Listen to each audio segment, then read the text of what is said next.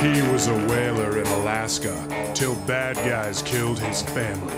Now he's in the big city looking for vengeance, and they call him Harpoon Man. The only dude who wields a big ass harpoon and knows how to use it. Yeah, looking good, Harpoon Man. He's a cool customer with moves that'll make your head spin. Don't you cross him, he got his name for a reason. And the ladies, oh, the ladies, they know all about him. And don't you judge his premature ejaculation. Don't worry, Harpoon Man, it happens to lots of guys. And you don't mind, because you get all the ladies.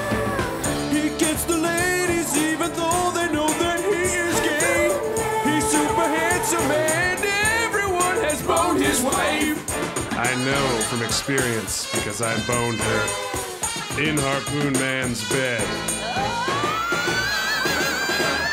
And what's up with your face? Ugh, you look like a six foot leprechaun with no wiener. Oh, what are you getting mad, Harpoon Man? You're never gonna find me.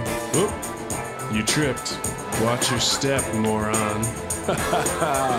Harpoon Man never came out and said it, but I'm pretty sure he's a bigot. I mean, seriously, he's so gay, I heard he breastfed on his daddy's nipples. Thank you. Thank you. Gotcha. Hey, man.